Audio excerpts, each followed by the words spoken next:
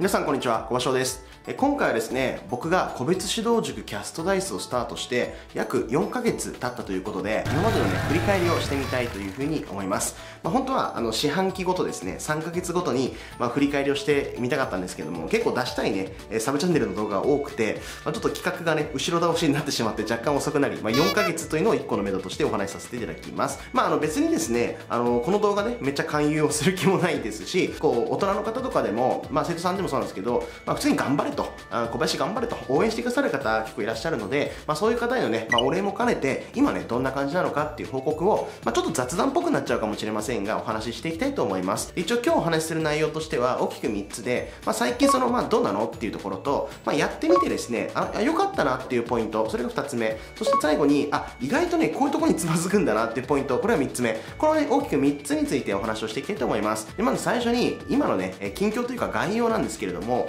まあ、総じてですよ、めちゃめちゃ全体を抽象化して言うと、いい感じ、いい感じで進んでおります。まあもちろんね、あの生徒さん一人一人を、まあ、見てみれば、まあまだまだね、これからもっと頑張らないと成績伸びないよっていう生徒さんもいるし、まああの、例えば5月ぐらいにね、もうすぐ入塾してくださって、もうめちゃくちゃね、成績伸びてらっしゃるっていう生徒さんもいらっしゃいます。まあ、あの、いろんなね、こう志望校の生徒が集まっていまして、もちろん、あの、東大をはじめとして、東大もいますし、京大もいますし、医学部志望もいますし、そういう難しいところもいますし、あの、もうちょっと基礎的なところからあのやろうねっていう風にしてやってらっしゃる方もいらっしゃいます。なので、まあ、学力で、まあ、制限をつけずせっかく個別指導なんだから、まあ、いろんなねあの生徒さんを、まあ、面倒見させていただきたいという気持ちというのが、まあ、結構あの伝わっていろんな方に来てもらえて嬉しいなという風に思っております。あの、まあ、担任サポートというあのグループ LINE グループを作ってそこでね連絡のやり取りを普段講師とあの生徒さんでしてるんですけどこうたまにね、まあ、僕なんかもあのちょっと一言ねかけさせてもらったりとかしてあとももしくは保護者の方から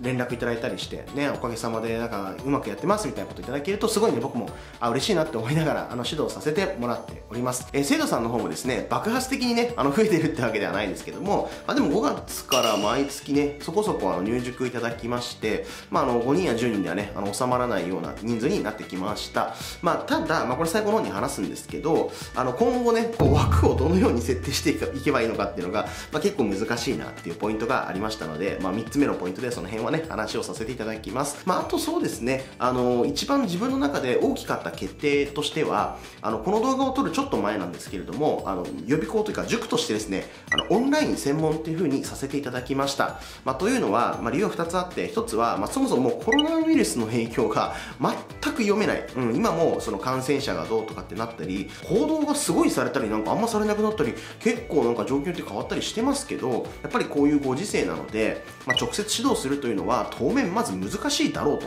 いうふうに判断しました。で逆にですね、ま、申し訳ないんですけれども2つ目のポイントとしてもし、えー、校舎に来たいという方がいらっしゃった時にその方のためだけにあの人件費を割いてその場所にね人を用意したりとかってことになると大変申し訳ないんですけどやっぱそれだけで採算が合わなくなっちゃうしかも、うん、来たいと言われても少なくとも当面あのコロナウイルスの影響がある範囲ではあのどうぞどうぞ来てくださいとは正直言えないっていう状況もありまして、まあ、そういったこともあり基本的にちょっとねもうオンライン専門で当面やらせていただこうと思ってます。まあ、ただ、あの僕自身があのもうオンラインが良くて仕方ないという人間ではないので、まあ、もうちょっとね、その世の中の情勢が変わってきたりとか、コロナウイルスの影響が変わってきたりしたら、まあ、オープンさせていただくということも十分にあるかなと思います。えー、2つ目の話なんですけれども、良かったなっていう点に関してですと、まずね、大きく3つあります。さらに、まあ、3つが3つに分かれるって分かりづらいかもしれませんけどね、良かったことが3つあって、まず1つ目がですね、やっぱ講師をプロ講師にして良かったなと思ってます。やっぱり僕自身も、あの、昔ね、塾の中途やったよみたいな話も動画してますけど、まあ、あの学生さんがダメで、まあ、卒業してる人だったらいいというわけではないんですよ一概には言えないんですただ一度ね社会人を経験していたりとかもしくは大学卒業して、まあ、再受験して入学した人の場合うちは OK というふうにしてるんですけれども要はその個別指導の経験がちゃんとある人要は例えばあの生徒の予定をこっちの都合でガンガンずらしたりとか、まあ、勝手にねあの欠席したりとかそんなこうあるまじきことっていうのを起こしてはいけないとかっていう前提がちゃんと分かってる人にやっぱ見てもらわないとやっぱご家庭としても不安があるんですよね。でかつ指導経験がね初めてとかの大学生とかだとやっぱりどうやって教えていいか分かんなかったりするんですよ。まあなんとなくね個別指導で、まあ、教えてって言われてできるかもしれませんけどやっぱ大学受験なんでやってることが結構難しいのである程度経験のあるねプロ講師というものを使わせていただいていて、まあ、それがね、まあ、保護者の方にも評判良かったりあと場合によってはあの個別指導塾でその勉強保証とかスケジュール管理とかしてほしいんだけどアルバイト講師じゃない、えー、塾に行きたいと。であんまりそういう塾はないからあの問い合わせしましたっていう方もいらっしゃいました、まあ、すごいそれはそれであなるほどなと思ったし、まあ、嬉しいなというふうに思いました、うん。まあ、それは良かったことの1つ目。で2つ目なんですけれどもいわゆる勉強法指導じゃなくてその科目指導とかそういったねあの幅広い勉強ができるようにしたのは僕は良かったなっていうふうに思ってます。ぶっちゃけた話をすると皆さんもしかしたら調べたら出てきちゃうかもしれないんであんまり僕悪口言いたくないんですけど例えばですねメニューがほとんどない勉強法指導塾っていうのも結構あります、え、例えばですね大体毎週、えー、1回1時間で、えー、月に4回指導しますでもほとんどの人がもうそのえー、セットです。まあ、もしくは例えば国立コースとか私立コースとか、まあ、そういうふうに分かれたりしてますけど、まあ、原則例えば週に1回1時間しかやりませんっていう塾も結構あるんですね。で、まあ、それがダメだとは言わないんですけど、まあ、結局、スケジュール管理だけして伸びるんだったら、あの正直そんなにね、あの必要ないんですよ、塾が。そうじゃなくて、やっぱ分からないところを聞けるとか、やっぱり添削をしてもらえるとか、やっぱりそういうところに本当の価値っていうのは、勉強法指導とか管理っていうところあるので、せっかく授業をしない、ね、基本的にはその他の塾に行くのもいいけど、映像授業だったり、独学の参考書だったりをしてやってこうよっていうスタンスの、えー、ことをやっているわけですから、やっぱりそのメニューが広いというか、生徒さんの状況に応じていろいろ提案できるっていう形が僕は一番いいなと思いました。だからうちではそのスケジュール管理とかそういうのもしつつ、例えば部分的に英語の長文読解の演習を毎週、えー、解説とかを含めてやらせていただいているっていう生徒さんもいるし、まあ、本当にその生徒さんそれぞれ数学やってる子もいるしね、まあ、なので、まあ、どうしても時間数が当然増えればコストも高くなるので、まあ、学費的にはね高くなっちゃうかもしれませんけどもでもそういうねあのメニューを用意しておいてよかったです。でぶっちゃけた話をするとあの儲けるためだったらメニュー一律にした方がいいんですね。これまあなんでかっていうとあんまちょっと細かく説明すると面倒くさいと思われちゃうかもしれませんのであの場合によっては飛ばしてくださいねここね。例えば全員同じメニューにすればですねもう枠を決められるんですよ。例えばもう6時からの枠例えば7時何分からの枠8時からの枠みたいな。そうすると例えば6時から、えー、7時で7時15分から8時15分。で8時半から9時半 errado. ってなったら例えば6時から9時半の間に3コマ3人入れることができるんですね。なぜならもうみんな1時間コースって同じなんで、まあ、例外の子はもしかしているかもしれないけど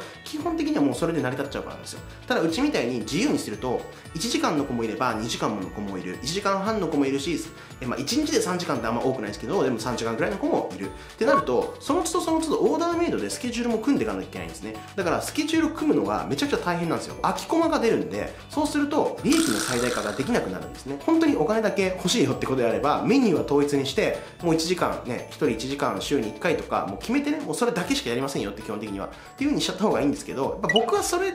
はちょっとなんか違う部分もあるなと思っているのでメニを広げてよかったなっていうのがまあ2つ目。で3つ目に良かったことなんですけども、まあ、これはあのオンラインがですねあの良かったなというふうに思います。これあのすごくね僕もともと狙ってなかったですよ。こんな効果があるなんて思わなくてあのオンラインをやってたんですけどあのオンラインで勉強すると、まあ、要はその、まあ、家でねこういう場所で、まあ、生徒さんがですね一応こう毎週先生と話をしながら、まあ、講師と話をしながら、まあ、勉強するという時間が作られるわけですね。でそうすると、まあ、それをね、まあ、1回や2回じゃないんですけど例えば1ヶ月とか2ヶ月やってると、まあ、自然とその家でですねこう勉強する姿勢がだんだんついてくるみたいな、ね、やっぱりそのどうしても、えーと、指導がある日っていうのは、まあ、自習室行って、まあ、帰ってきてで、まあ、受講してるって人もいるかもしれませんけど基本的には、まあ、家に帰ってきて家で受講してその後また家で勉強するって人が多いと思うんですね。だから結構家で勉強する習慣が意外とついたっていう方がいらっしゃってあこれは僕全然狙ってたわけじゃないんですけどあの副次的に出てきた効果としてすごいいいものだなっていうふうに感じました。はい。これがねあの今やっててね良かったなって思ったことの3つですね、まあ、他にも細かいことはあの大量にたくさんあるんですけどなんかすげえ伸びた成績が伸びたこととかねあるんですけどまあまあ今日はこのとこにしておきます。で逆にですね、まあ、課題もあったんですよね。でそれが今回2つちょっとお話ししておきたいんですけど1つ目がですね先ほどちらっと話したんですが空きコマがどうしても出てしまうっていうことですね。どうしてもその1時間の子だけってわけではないのでいろんな時間の子がいるので講師1人当たりが担当できる人数っていうのが思ったより少なくなっちゃったということですね。それはなんか能力が高い低いではなくってパズルみたいにこうはめていかないといけないので当然ですけどこっちの都合よくはまっていくわけじゃないんですよ。なので、まあ、そこがね結構難しいなっていう点はありますね。であとはこれはねやっぱ塾やってみないとわからない人間で正直だからそこの部分は本当に自分が素人だったなって思うのは僕が思った以上にみんな同じ時間を希望するんですね。大体人気の時間がですね6時ぐらいから8時ぐらいの間というのがやっぱ一番の人気でいや僕の感覚だと例えば結構学校早く終わる、まあ、私立の子とかもいるのでだったらまあ5時とか、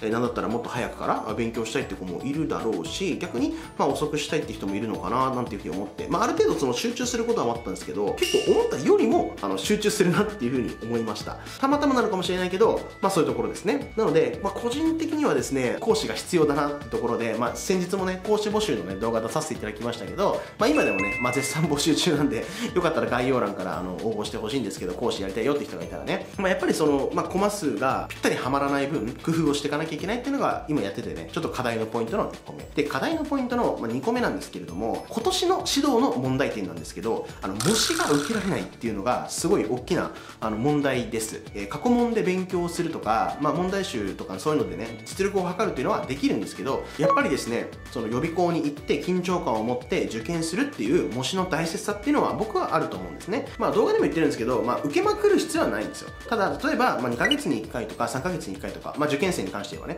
まあ、それぐらいはやっぱり受けて、まあ、大体自分の位置こんなもんかなっていうのは、まあ、見えておいた方が、まあ、いいだろうというふうに僕は思います。まあ、やっといてあのいいだろうと、やっとた方がいいだろうと。うん。やっといて損はないだろうと思うんですけど、まあ、高3生とかであれば、まあ、3ヶ月に1回とか、まあ、できれば2ヶ月に1回、まあ、月に1回は受けすぎだと思うんだけど、まあ、それぐらいのペースで、まあ、受けておくことっていうのは、まあ、やっといて損ないだろうなというふうには思います。まあ、高1、高2生だともうちょっと頻度ね、落としてもいいと思うんですけど、まあ、ただ、今年ですね、その、受けられないものとか、まあ、キャンセルになったものとかが結構多発してて、その生徒としても、今私の位置ってどこなんだろう僕って今どこまでいけてるんだろうっていうのが、まあ、ちょっと不安になってる子もいるなっていうのが今年の問題でした。でやっぱりうちみたいなその小さい塾ではその大手みたいなね、まあ、がっつりとした模試を作ることはなかなか難しいです、まあ、問題自体は作れたとしてもやっぱ統計データが取れないのであなたは偏差値なんですよっても言えないんですよね。なのでそういうところっていうのはやっぱりこう大手に依存している部分で、まあ、それは仕方ないんですけどね、まあ、やっぱりコロナウイルスの影響でなかなかそういうこう難しい部分も出てきてる。